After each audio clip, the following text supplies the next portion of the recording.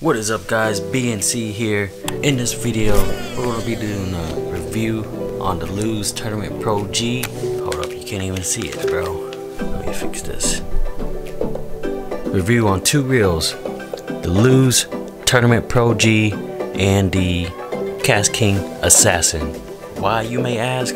Well, if you look all the way down here, price point of the Lew's Tournament Pro G is $200 compared to the KastKing Assassin which is $60. So we're going to see if the KastKing Assassin is a better deal to purchase than the Lew's Tournament Pro G. If you guys like these videos right here, it's my first time making it so uh, be easy on me. If you guys like these uh, tutorials or whatever, tips and tricks, leave in a comment below that you enjoyed it or give me a thumbs up. Either one.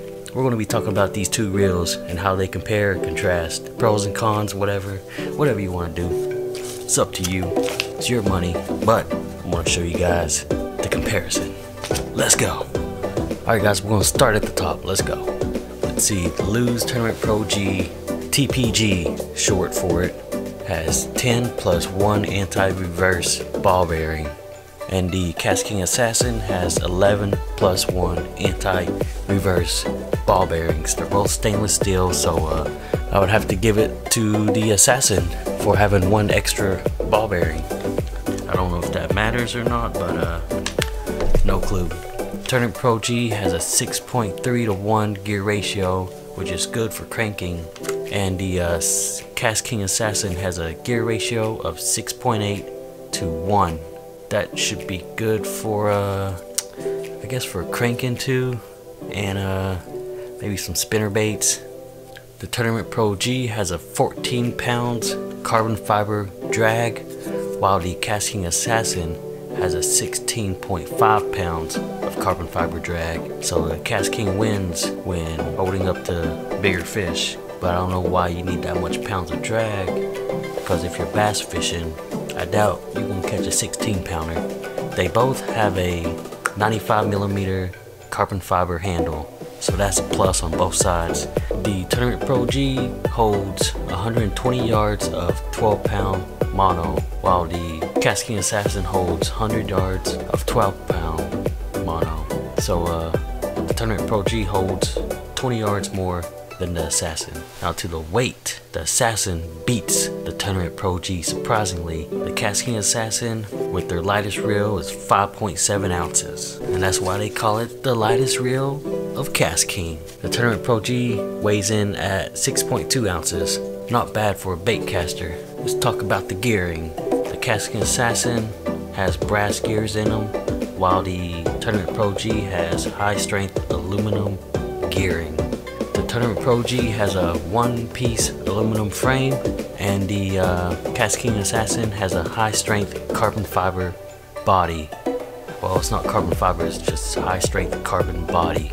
The Lew's Tournament Pro G has a lightweight machine aluminum spool and the KastKing Assassin has a forged aluminum spool. I don't know if that makes a difference or not, but I'm assuming that's the same thing. They have drilled holes in them or something. Braking systems. Tournament Pro G has an external centrifugal or centrifugal braking system, which they call Speedcast. The Speedcast adjustable centrifugal brake system delivers an extreme range of braking power from free spool to maximum by simply clicking as its external dial to choose among 27 variable settings. The Tournament Pro G Speed Spool puts you in control of your cast, perfectly aligning brake power to lure size. With this system, you have more casting control over light lures while maximizing casting distance with all lures. Damn son, that's pretty dope. Now the braking systems on the KastKing Assassin has a dynamic 6-pin centrifugal and magnetic brakes for laser focus, casting accuracy even with wind drift lets you hit the bullseye every time, son. Going on to the cast control. The uh, cast control on the uh, Lew's Tournament Pro G is really nice. It actually has a speed dial that has a convenient line indicator dial on it. quickly recognize what line type and line weight you have loaded on your reel. So that's a pretty cool feature. And the best thing about the cast control is that it clicks. You can tell when it you change the setting on it because you can keep on clicking and clicking it. But the KastKing Assassin doesn't click, so uh, it's hard to get it tuned right. Some other features about the Tournament Pro G is that it has a hook keeper on it. I think Lew's the only ones that make the hook keeper like this. I guess they got it patented. It's got some nice details on the reel.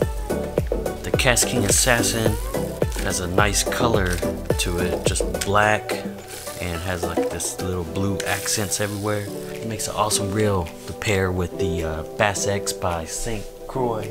Alright guys, in conclusion, if you guys want to go with a cheap, affordable reel, go with the KastKing Assassin. If you want to go higher up, get some better quality reels, go with the Lew's Tournament Pro G or something better than that. Get a Shimano or something. KastKing Assassin has almost the exact same features as the Lew's Tournament Pro G. I've only had these two reels for a year or so, so I've tested it out quite some time. Alright guys, what do you guys decide? Would you go with the Assassin or would you go with the TPG? Let me know in the comments below. Or if you own any of these, let me know what you think. Let me know what you think about these reels. Let's drop some discussion down below. If you want to see more reviews like this, let me know and I'll try to make some more. Alright guys, thank you for tuning in if you watched to the end. If you're new to the channel, hit that subscribe button. Smash that like button if you're into that stuff. And, and, See you guys next time on Bass and Coffee.